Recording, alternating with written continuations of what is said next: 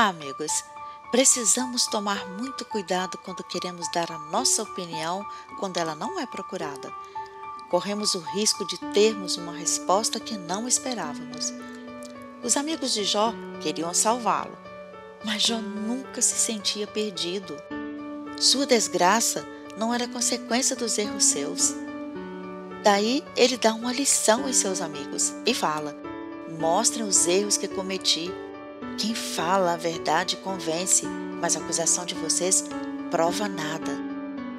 É, amigos, como a gente tem a mania de aconselhar os outros sem um mínimo de conhecimento das circunstâncias que contribuíram para tal situação, não é mesmo? Eu aprendi em Jó 6 que devemos abrir os nossos corações para nos compadecer e a nossa boca para falar quando for pedido. Amém? Eu te espero amanhã para a leitura de Jó 7. Até lá!